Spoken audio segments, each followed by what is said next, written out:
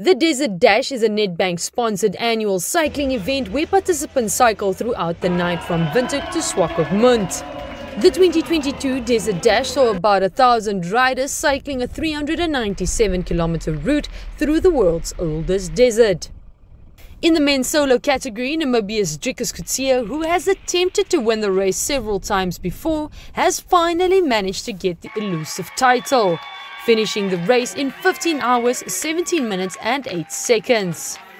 It's a great relief for me finally winning this event. Um, I have an absolutely awesome year and this is just a cherry on the cake. Um, winning NAM champs, Namibian road cycling champs in February and going to South Africa doing ultra endurance races there.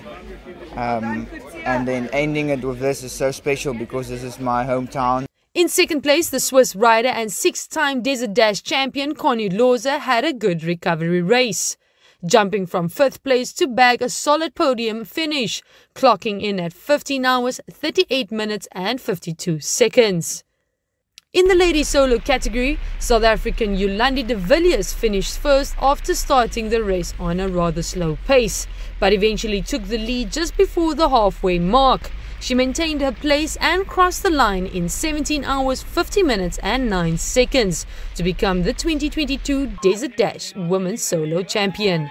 For NBC Sport, Crystal Coetzee, Swakopmund.